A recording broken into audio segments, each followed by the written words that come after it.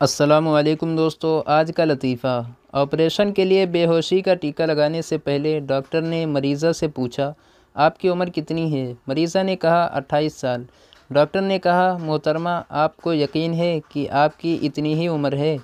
क्योंकि मैंने आपकी उम्र के हिसाब से आपको बेहोशी की दवा की मकदार मुकर करनी है।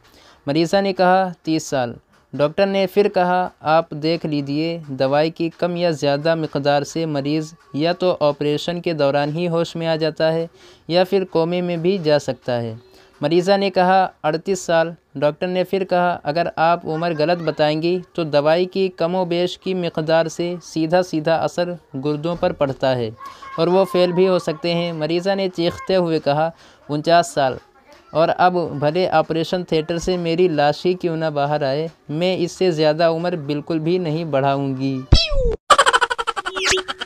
सब्सक्राइब कीजिए हमारे यूट्यूब चैनल को इसी तरह की मज़ेदार वीडियोस देखने के लिए। जजाकल्ला